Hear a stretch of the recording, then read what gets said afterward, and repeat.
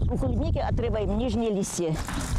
Они вообще не нужны, чтобы она, она не густела. В подсобных хозяйствах Приволжского района клубника поспевать не торопится из-за холодной весны. Капризная погода вносит свои коррективы в уход. В холода Якуба и Мугульсин Ильясовы стараются не переборщить с поливом. Часто не поливаем, потому что если часто его поливать, то ягоды уже портятся от повышенной влажности.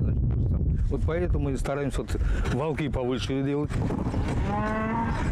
чтобы вода не доставала ягод. Собирать урожай придется на две недели позже во всех регионах страны. Не в мае, а в июне. Эксперты отмечают, позднее созревание ягоды никак не отразится на объемах. По данным Росстата, в прошлом году в стране было собрано свыше трех тысяч тонн клубники. В Астраханской области урожай составил 20 тонн. В региональном министерстве сельского хозяйства отметили, что несмотря на холодную весну, этим летом ожидают столько же. Без клубники мы не останемся. У нас клубникой занимается немного хозяйств. Их по области наберется, может, там 4-5 хозяйств всего лишь в Павлодарском, Приволжском, есть в Красноярском. Небольшие там площади есть в Харовалинском районе.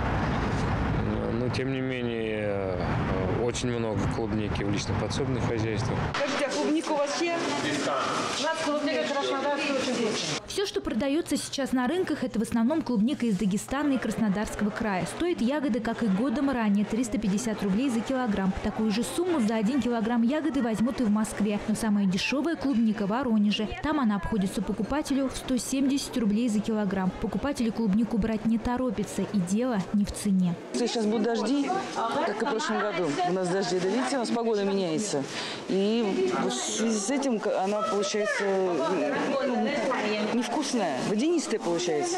Продавцы, конечно, считают иначе. Разия Байрамова объясняет, краснодарская парниковая клубника вкуснее астраханской тепличной. Местные ягоды, выращенные в открытом грунте на рынках, появятся в июне. Сейчас предприниматели продают максимум по 20 килограммов ягоды в день. Половину той, что привезли, оставляют дома. До вечера еле-еле продаем. Люди еще не привыкли, еще пока не берут. Они. Некоторые говорят, мы ждем свои, когда свои будут, тогда покушаем хорошо. Астраханская сезонная клубника поспеет только в июне. Она будет чуть дороже парниковой, но покупатели ждут именно ее и готовы переплачивать. Алтына Урумбаева, Вадим Матасов, Центр новостей.